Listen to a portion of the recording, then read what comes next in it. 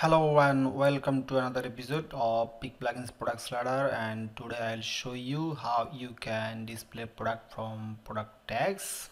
And here is the product tags you can display on the products slider via layout editor. And see you can customize the layouts to add the product tags to your layout. Here is the options. You can remove it. So let's see how you can query product based on product tags. Here is the options under the product query product tabs. You see the product taxonomy and terms. Product tags you can choose products from product tags from here. Let's choose this one logo and the terms relation in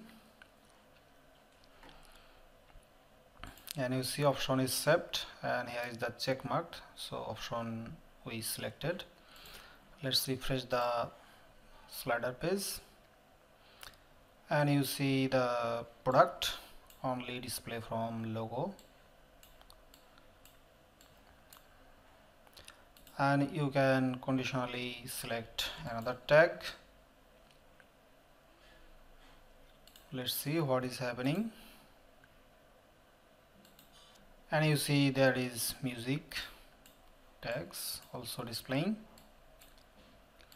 So this way you can display product from different tags multiple tags you can select uh, you can reset the selection by clicking reset button.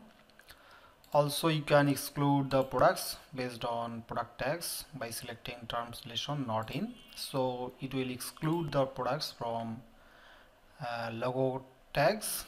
So let's see the preview. And hopefully you see there is no product from logo tags. Hope you understand how does the product query by tags working. And hope the translation other and exist and not exist also helpful to conditionally query product based on product tags. Hope this will help you. Advanced query for products based on product tags. Thanks for watching